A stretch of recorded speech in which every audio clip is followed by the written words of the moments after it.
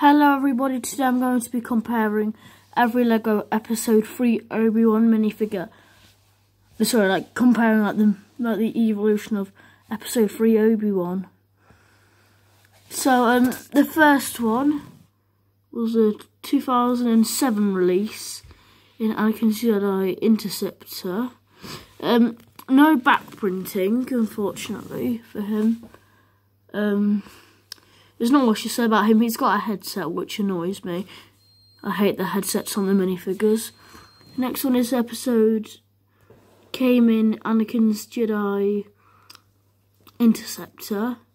And that's a um, I really like this one. Um, has some detailed back printing. And the next one came in, I believe, the General Grievous wheel bike.